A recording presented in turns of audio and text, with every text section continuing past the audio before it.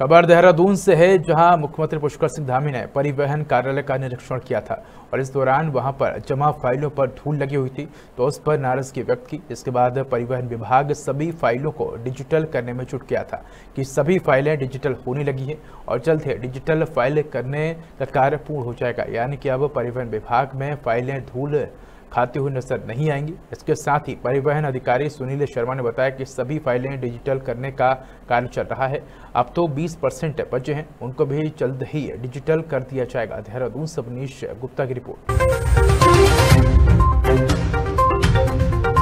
ये बहुत हमारा जो डिजिटलाइजेशन का काम है, वो बहुत स्पीड से चल रहा है और मुझे ये बताते हुए बड़ी खुशी हो रही है कि जितनी भी कॉमर्शियल गाड़ियों की फाइलें हैं, वो टोटली डिजिटलाइज हो चुकी हैं। और हम लगभग लगभग 45 परसेंट तक अचीव कर चुके हैं। और जो हमारी जो नॉन डिजिटलाइज फ़ाइल जो कि बहुत ज़्यादा यूज़ में आती हैं वो मात्र 20 परसेंट और रह गई हैं।